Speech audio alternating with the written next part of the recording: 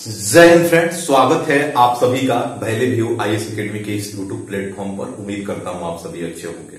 दोस्तों, आज एक महत्वपूर्ण टॉपिक पर हम लोग डिस्कस करेंगे और वह टॉपिक है रीट फंडामेंटल राइट से संबंधित कुछ महत्वपूर्ण रीट जो है सुप्रीम कोर्ट को दिए गए हैं, उस पर हम लोग आज इसके इस क्लास में डिस्कस करने वाले हैं।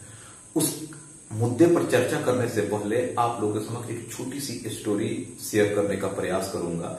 इस स्टोरी को थोड़ा सा ध्यान से समझने का प्रयास कीजिएगा। यह स्टोरी आपके जीवन के लिए बहुत महत्वपूर्ण हो सकता है। एक सज्जन व्यक्ति जो अपने जीवन से काफ़ी परेशान रहा करते थे, वह हर बात में छोटी छोटी बातों को लेकर के किसी पर गुस्सा हो जाना, अपने बातों को ऑलवेज ऊपर रखने का प्रयास करना, इससे वह जिसके साथ भी उनका अगर मुलाकात होता, सामने वाला इंसान उनसे परेशान हो जाता। अगर किसी सड़क पर अगर निकलते उस निकलते दौरान अगर कोई इंसान सामने से अगर रॉन्ग साइड में आ जाता तो वह उससे ऐसे ही उलझ पड़ते और इनका उस इंसान के साथ एक झड़प हो जाती। यानी हर समय यह सामने वाले इंसान के साथ कभी भी ऑलवेज एक गुस्से के रूप में अपने आप को प्रेजेंट करने का प्रयास करते। एक समय की बात है, यह इंसान को कहीं जाना था और जाने के लिए इन्होंने एक कैब को बुक किया और वह कैब चलाने वाला जो इंसान था, इनके एज से उस कैब चलाने वाले इंसान की एज ज़्यादा थी।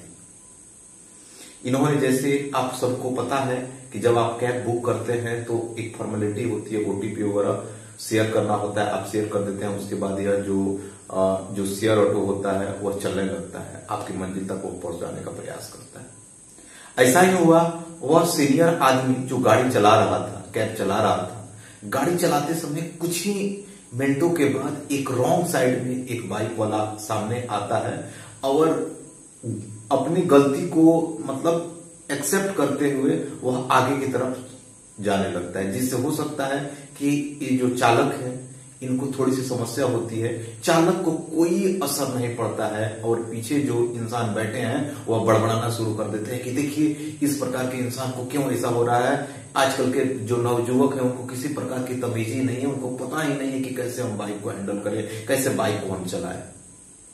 यह चालक अपने पीछे बैठे हुए सज्जन व्यक्ति की सिर्फ़ बातों को सुनता है और हँसते हुए अपने गाड़ी को ड्राइव करते आगे निकल जाता है। थोड़ी दूर और आगे बढ़ता है, तब तक एक रॉन्ग साइड में एक कार वाला आता है। कुछ ऐसे इनके सामने से गुजरता है कि अगर थोड़ी सी मिसअंडरस्टैंडिंग हुआ तो वह कार, दोनों कार एक दूसरे से टकरा जाते। इस स्थिति में भी जो ड्राइवर है, वह ड्राइवर कुछ नहीं बोलता। और इस स्थिति में जो पीछे जो सज्जन बैठे हुए हैं जिन्होंने कैब बुक की है, ये फिर से बड़बड़ाना शुरू कर देते हैं और कुछ दूर जाने के बाद इस व्हीकल ड्राइवर से पूछते हैं कि एक बात बताइए। आपके समय में इतने सारे मैंने देखा कि दो इंसिडेंट हुए। एक बाइक वाले ने ऐसे रॉन्ग साइड में आया और एक कार वाले ने तो लगभग ऐसा हो गया कि वो आपकी गाड़ी को ठोक भी सकता था। लेकिन आपने कुछ नहीं उसका रिएक्ट किया थोड़ा सा स्माइल किए और स्माइल करने के बाद अपने आप गाड़ी को निरंतर चलाते रहे। इस पर उस ड्राइवर ने एक मुस्कान के साथ क्या बेहतरीन उत्तर दिया इसका, आप इस बात को ध्यान से सुनने का प्रयास करेंगे। उन्होंने कहा कि कभी आपने एक कचरे से लदे हुए ट्रक को देखा है? इन्होंने कहा हाँ देखे। जो भी कचरा जो ट्रक के ऊपर हो जाते हैं, वो देखते हैं कि धीरे धीरे गिरते रहते हैं। उसी तरह इंसान है। इंसान अपने अगर जीवन में इतना ज़्यादा फ्रस्ट्रेट रहता है, जिसके वजह से इस प्रकार के इंसिडेंट करता रहता है और अनवांटेड बातें बोलता रहता है। अगर हम उसकी अनवांटेड बातों पर अगर रिएक्ट करना अगर सीख लिए, उनकी हर एक बातों को रिएक्ट करने लगे और उनकी जवाब देने लगे।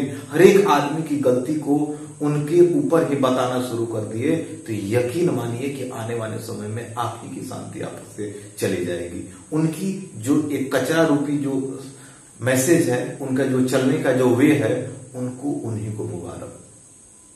यानी आप अपने जीवन में व्यवस्थित रूप के साथ निरंतर चलते रहे। जिनके जीवन में जिस प्रकार के इंसिडेंट हो रहे हैं इसकी वजह से वो फ्रस्ट्रेट रहते हैं तो हो सकता है कि आपके साथ वह इलीगल व्यवहार कर सकते हैं, और उस व्यवहार की वजह से आप अपनी दिनचर्या को खराब न करें। तो उम्मीद करते हैं कि आप एक छोटी सी कहानी से आप लोगों ने कुछ सीखा होगा। चलिए, आज के सेशन को हम लोग स्टार्ट करते हैं।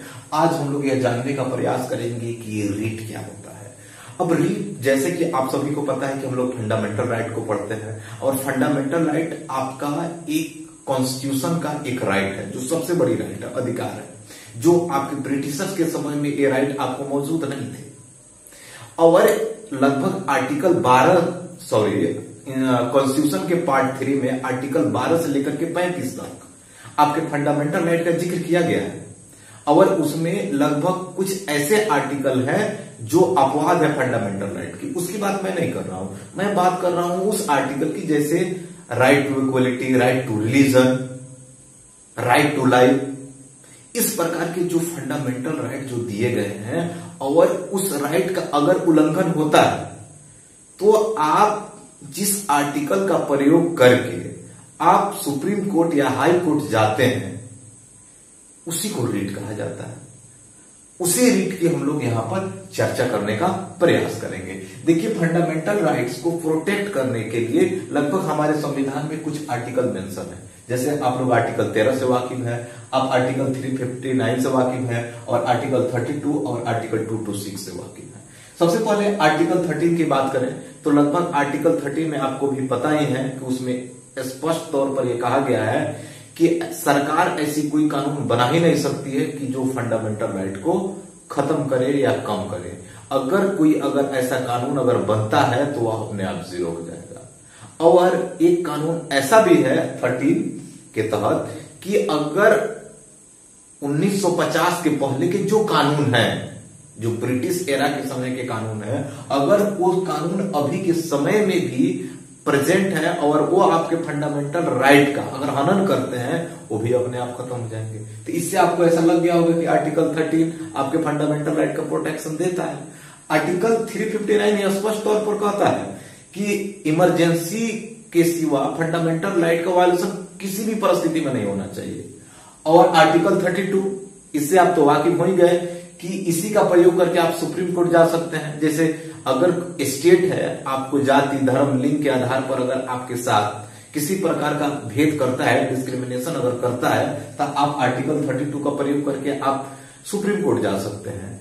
और वहाँ से रीट जारी करने के लिए आप सुप्रीम कोर्ट से अनुरोध कर सकते हैं रिक्वेस्ट कर सकते हैं। और आर्टिकल टू टू सिक्स जो राइट्स आपके सुप्रीम कोर्ट के तहत 32 के तहत मिला है, वह आर्टिकल 226 का प्रयोग करके आप हाई कोर्ट जा सकते हैं। ये तो मतलब आप आसान भाषा में अगर समझने का प्रयास करें तो ये है फंडामेंटल राइट को जो प्रोटेक्ट करते हैं, ये आपके संविधान में आर्टिकल मेंशन है। अब यहाँ पर देखने वाली बात होती है कि आर्टिकल 32 और 226 ये सुप्रीम कोर्ट का है और ये आपके हाई कोर्ट का है। अभी दोनों में अगर आपसे कभी कोई पूछ देता है कि दोनों में किसका अधिकार ज़्यादा है तो ध्यान रखिएगा कि आर्टिकल 32 का प्रयोग जब सुप्रीम कोर्ट के लिए किया जाता है तो सिर्फ़ और सिर्फ़ फंडामेंटल राइट के उल्लंघन के तहत ही आप सुप्रीम कोर्ट जा सकते हैं और रिट जारी किया जा सकता है, सिर्फ़ फंडामेंटल राइट के उल्लंघन के केस में। लेकिन टू टू सिक्स जो हाई कोर्ट है, वो fundamental right plus administrative system या अदर्स किसी भी मामले के लिए वह आर्टिकल 226 के तहत अगर कोई इंसान प्रयोग करके रीट जारी करने के लिए हाईकोर्ट को बोल सकता है। उम्मीद करते हैं कि ये चीज़ें आपको समझ में आ गई होगी। इन जनरल अगर देखा जाए तो पाँच प्रकार के रीट मेंशन यहाँ पर किए गए हैं।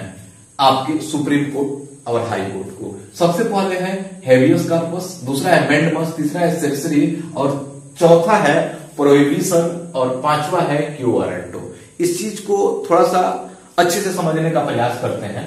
अब ये जितने शब्द हैं, आपको थोड़ा सा शब्द सुनने के बाद अजीब सा लग रहा होगा कि ये कैसे शब्द हैं। ये सारे शब्द जो है वो लैटिन वर्ड है।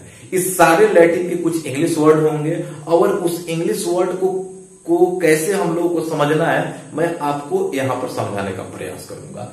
सबसे पहले ये बात करते हैं हैवियस कार्पस इसका मतलब होता है टू हैव ए बॉडी इसका इंग्लिश ये लैटिन वर्ड है, अगर इसका इंग्लिश करें तो इसका इंग्लिश होता है टू हैव ए बॉडी इसका मतलब क्या है कि जैसे मान लीजिए उदाहरण के रूप में चीज़ को समझते हैं कि स्टेट ने किसी इंसान को अरेस्ट करके रखा है। और इंसान को अरेस्ट करने के बाद वह निरंतर रखा है, लेकिन ऐसा लग रहा है उस इंसान को कि जो ये अरेस्ट की जो सीमा है वह इलीगल है, गलत है, या हमको ऐसा लग रहा है कि जो ये सजा मेरे को मिली है वह सजा के लायक मैं नहीं हूँ, मैं उस सजा से कम सजा झेलने के लिए तैयार हूँ, इतना सजा मुझे नहीं मिलनी चाहिए। आपने कोई जुर्म किया है, और उस जुर्म की सजा हो सकता है कि कम है, लेकिन उस जुर्म के लिए आपको लंबा अवधि के लिए आपको अरेस्ट करके रखा गया हो तो उस स्थिति में आप तो मान के चलिए कि जो विक्टम है, वो तो अरेस्टेड है तो उसका कोई रिलेटिव सुप्रीम कोर्ट में जा सकता है और सुप्रीम कोर्ट से ऐसा कह सकता है कि आप हेवियस कार्पस रिट जारी कीजिए, जिसका अर्थ होता है कि उस इंसान को लाना। यानी सुप्रीम कोर्ट में पेश किया जाना और सुप्रीम कोर्ट यह समझने का प्रयास करेगी कि क्या उस इंसान के साथ कुछ इलीगल व्यवहार तो नहीं हो रहे हैं। उसका फंडामेंटल राइट का उल्लंघन तो नहीं हो रहा है। अगर उस स्थिति में, अगर सुप्रीम कोर्ट को ऐसा लगता है कि हाँ वहाँ पर कुछ इलीगल हुए हैं, और तो उस स्थिति में सुप्रीम कोर्ट हेवियस कार्पस के तहत उस इंसान को आज़ाद करा सकता है। एक छोटा सा केस है यहाँ पर। एक Rudal Shah versus state of Bihar ये उन्नीस का केस है। इसमें हुआ क्या था कि रुदल शाह नाम का एक इंसान था। उनकी जो भी सजा थी वह सजा वो काट चुके थे। उसके बाद उनको उनकी सजा को बढ़ा दिया गया था और वह सजा लगभग चौदह साल ज़्यादा था। इसको लेकर के इनके रिलेटिव ने सुप्रीम कोर्ट में एक रिट पिटिशन के लिए अपील किया कि आप हेवियस कर्पस रिट को आ, अप्लाई करें और मेरे जो मौकिल हैं उन मौकिल को छुटकारा देने के प्रयास करें। इस स्थिति में सुप्रीम कोर्ट ने हेवियस कार्पस का प्रयोग किया स्टडी किया और समझने का प्रयास किया कि आखिर मामला क्या है। और उस मामला को समझने के बाद सुप्रीम कोर्ट को ऐसा लगा कि यहाँ पर इस इंसान ने अपनी सजा को आ, काट लिया है इस स्थिति में उसके साथ अभी इलीगल पनिशमेंट हो रहा है। इसलिए सुप्रीम कोर्ट ने इस रुदुल शाह को बाइजत बरी करवा तो उम्मीद करते हैं कि आपको ये चीज़ें समझ में आ गया होगा। दूसरा ये है, जिसको बोलते हैं हम लोग मैंडमस अब मैंडमस क्या होता है, इसको समझिएगा।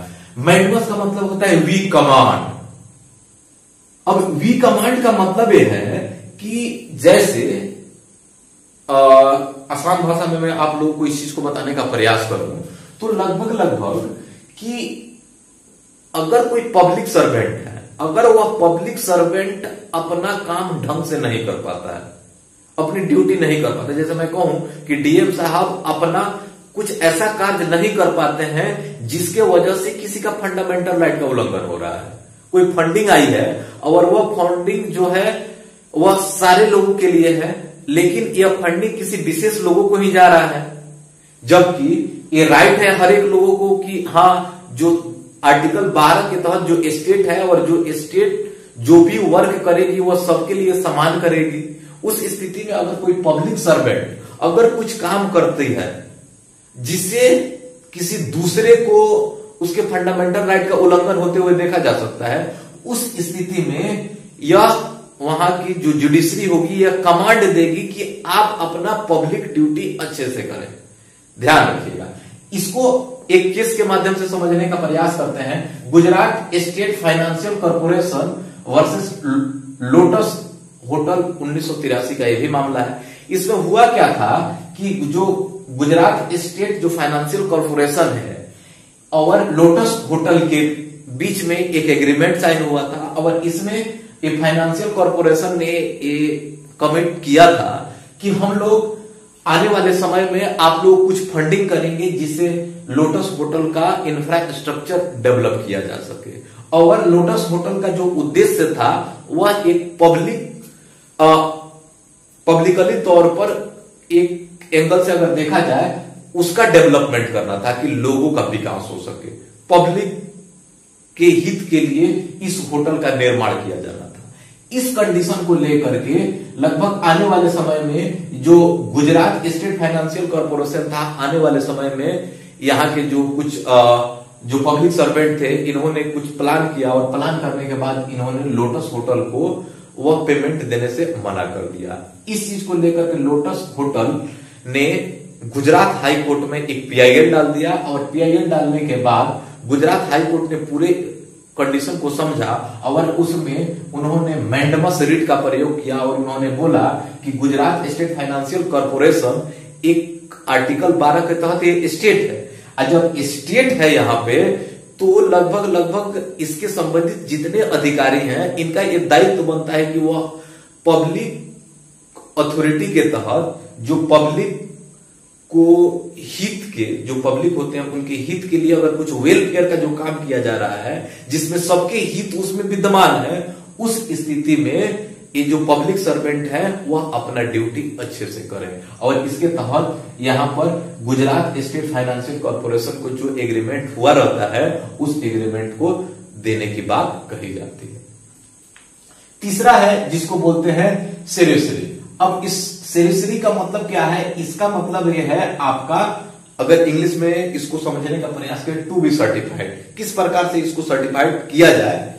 ये चीज़ें इसमें बताया गया है। कहने का मतलब है कि चाहे वह सुप्रीम कोर्ट हो, चाहे वह हाई कोर्ट हो, वह अपने से निचले वाले जो भी कोर्ट होंगे, उनके द्वारा दिया गया जजमेंट का वह रिव्यू कर सकती है। जैसे उदाहरण के रूप में हम मानते हैं कि किसी विशेष परिस्थिति में कोई निचला, जैसे डिस्ट्रिक्ट कोर्ट है, और डिस्ट्रिक्ट कोर्ट ने कोई गलत फैसला दे दिया, और उस गलत फैसले में किसी इंसान का फंडामेंटल राइट का उल्लंघन हो गया। उस स्थिति में आप सुप्रीम कोर्ट में यह एक रिक्वेस्ट पिटिशन डाल सकते हैं कि सुप्रीम कोर्ट सिरेसरी रिट को जारी करे और जो डिस्ट्रिक्ट कोर्ट ने जो फैसला दिया है, उस फैसला को समझ करके, उसका स्टडी करके, उसका जुडिशियल रिव्यू करके यह जाँच करे कि क्या वो फैसला रियल में वाकिब है। अगर उस स्थिति में अगर फैसला अगर गलत होती है डिस्ट्रिक्ट कोर्ट की तो यहाँ पर सिरिसरी का प्रयोग करके सुप्रीम कोर्ट या हाई कोर्ट उस फैसले को निरस्त कर सकता है। एक प्यारा सा यहाँ पर एक केस है, A K Kraipak versus union of India 1970 का केस है। इसमें भी ऐसा ही हुआ था कि यहाँ के जो लोअर कोर्ट थे, इन्होंने एके करीब करीपाक के केस में इन्होंने एक सजा मुकर्र किया था और एक ही करीपाक ने इसको इस मामला को सुप्रीम कोर्ट में ले गए और वहाँ पर इन्होंने अपने को मिला सजा को इन्होंने आ, सु, सुप्रीम कोर्ट में यह अपील किया कि इसकी एक रिव्यू की जाए। और रिव्यू में पाया गया कि उस लोअर कोर्ट का फैसला जो था वह गलत था और वहाँ पर सुप्रीम कोर्ट के तहत एक करीपाक को वहाँ पर इंसाफ मिला। उम्मीद करते हैं कि आपको ये चीज़ें क्लियर हो जानी चाहिए। उसके बाद होता है कि प्रोविज़न प्रोविज़न का मतलब ये होता है कि टू बी फॉरवर्ड अब ये दोनों चीज़ें में थोड़ी सी समानता है सेरेसरी और प्रोविज़न में। थोड़ा सा इसको ध्यान से समझिएगा यहाँ पे। क्या कहानी है दोनों के बीच में? अब जैसे मान के चलिए कि कोई लोअर कोर्ट है। और लोअर कोर्ट अभी फैसला सुनाना के पक्ष में है, अभी सुनाया नहीं है। सुनाने वाला है।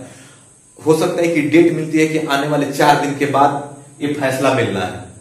और आपको पता है कि आप इस केस में हारने वाले हैं और आपको पता है कि आपका अपोजिशन जो वकील है, पार्टी है, वह आपसे मज़बूत पड़ रहा है और आप एक लीगल है, लेकिन वह इलीगल वर्क के साथ ही आप पे भारी पड़ रहा है।